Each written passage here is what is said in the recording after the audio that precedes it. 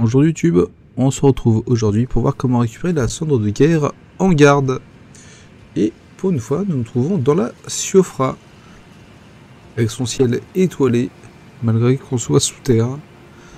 Et pour être plus précis, nous sommes en fait sur le site de Grasse, berge de la Siofra, donc au tout début du jeu, car en fait, si on prend le début, voilà, si on, hop, voilà, on va partir des portes, va juste partir vers l'est, on va remonter au nord, si on suit le chemin, et voilà, à côté de monde vous avez ici l'hôtel qui va vous permettre de descendre, puis de rejoindre ce site de grâce.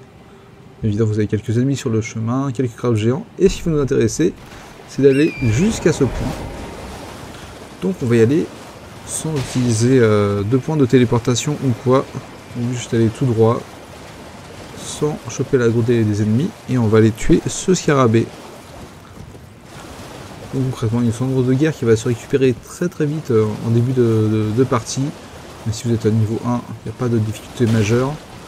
Le seul souci éventuellement c'est ces boules euh, d'électricité qui peuvent vous euh, sniper. Mais à part ça, vraiment pas de gros gros soucis. Vous avez Torrent, vous avez tout droit, et voilà. Donc là, on va passer sous cette arche. Du coup, j'avais pas pris le site de grâce. On va en profiter. Hop, et on va continuer. Donc là, c'est du quasi tout droit. Donc on le chemin. On se préoccupe pas des archers. Ceux-là sont pas trop trop vénères. Hop, voilà pour le, pour le point. Et on va voir le scarabée juste ici. Ah, il m'échappe et voilà qui est fait. Donc cendre de guerre en garde, ghetto d'azé. YouTube, je te propose de rester un tout petit peu plus. On va voir à quoi sert cette cendre de guerre et notamment comment est-ce qu'on l'utilise. Donc on se dit à tout de suite. Voilà, donc une cendre de guerre qui utilise uniquement sur les épées droites et qui va euh, en fait pas de de briser la garde de, l'adversaire. Donc on va l'appliquer tout de suite. Donc deux qualités. Ça implique que ça va être un équilibre entre la force et la dextérité. voilà donc.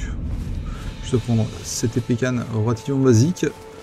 C'est juste pour voir comment ça se passe. Donc ça c'était un coup normal. Là je suis en garde. Donc là j'arrive pas à apparaître le l'attaque normale. Et voilà ça passe. Avec l'attaque lourde, ça stun. Ça vous permet d'enchaîner euh, derrière.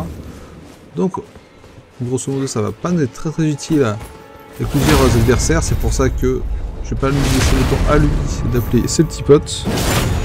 Cependant, ce qui est intéressant, c'est de tester avec le chevalier un petit peu plus costaud.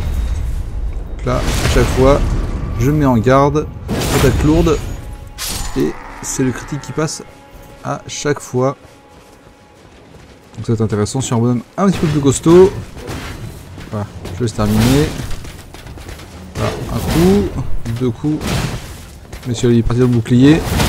Hop, et le troisième par contre, c'est le seul donc le critique. Voilà donc YouTube pour cette petite euh, démonstration. Donc n'hésite pas à liker et à t'abonner si la vidéo t'a aidé.